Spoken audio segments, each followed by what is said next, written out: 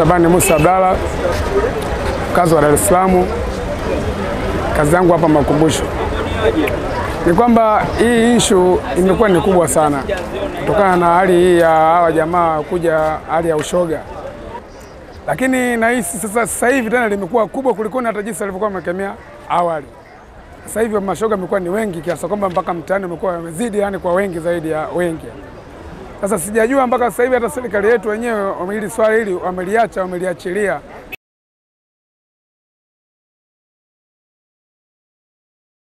Hili swala hili kwa kweli, mimi binafsi mimi sijapendezwa nalo.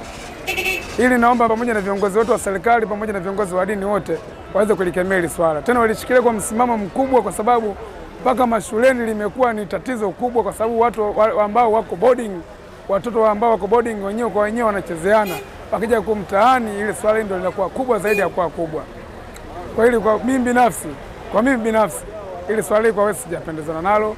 Naomba waheshimiwa wangu ndugu zangu wananchi pamoja na viongozi wangu waweze kulikemea hili swala tena kwa nguvu zote, nguvu kwa yani, wakapambane kwa nguvu zote, kwa sababu wadogo zetu wanaharibika, tena wanaharibika zaidi ya kuharibika, kwa sababu hata masomo sasa hivi hawasomi, kwa sababu mtu yote anacheza simu, anaangalia watu wanafanya nini, wanafanya kitoka mtaani, basi hali inazidi kuwa mbaya.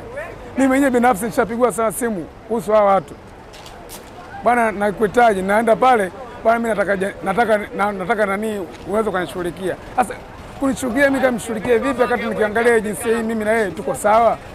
Kwa kweli mimi sijapendezwa nalo.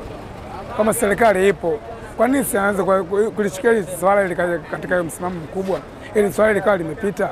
Ili kwa sababu gani? Hebu kuangalia hii tunakokwenda sio kuzuri. Hao wenzetu walio kuanzisha masuala ya ushoga, hao wenyewe sasa hivi hawezi kusikia, yaani hawezi kusikia swala hili, ila kwetu sisi ndio limekuwa kubwa zaidi ya kuwa kubwa.